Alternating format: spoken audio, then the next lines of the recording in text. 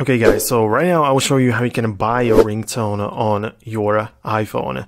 This is pretty simple to do, but in case you don't have any ringtones, then you definitely want to have the, uh, the option to get more.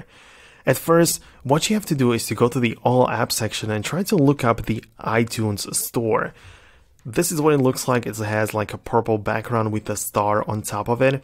However, if you don't have it on your iPhone, chances are that you deleted it or it's not just part of your iPhone. So open up the App Store and you can find it and look it up in here. So just look up iTunes and iTunes Store is right here. So you either have the option to download it or to open it.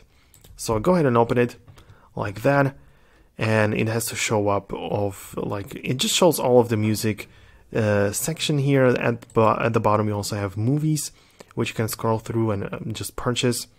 Then you have the search, so some stuff which people are searching for, but we want to get to the tones, which is the ringtones.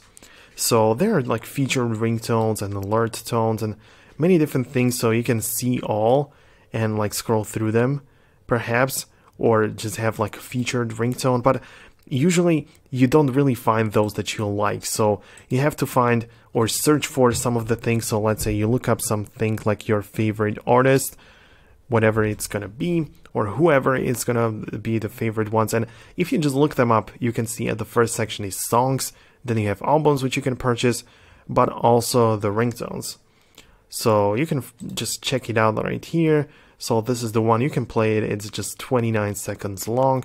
Perhaps some reviews if there are any available, but just click on the price, pay for it, and it's just gonna appear in part of your ringtones. It's not going to be in the music app, but it is going to be part of the ringtone. So if you go in here, go to the settings, go to the sounds and haptics, go to the ringtone, it's going to appear right here somewhere around in here. But from this section, you can also open up the Tone Store and get to the same section where I showed you the, the before. So yeah, there are multiple ways how you can get inside in here.